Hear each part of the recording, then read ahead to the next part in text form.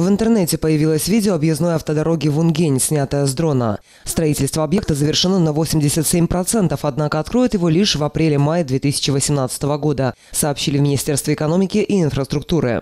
В ведомстве добавили, что должны обеспечить должное качество покрытия и завершить укладку последнего слоя асфальта. А это требует благоприятных погодных условий. Если мы сейчас откроем движение, то с этого момента начнет действовать гарантийный срок, который составляет всего один год. Мы потратим его впустую, заявил министр экономики и инфраструктуры Октавиан Калмык.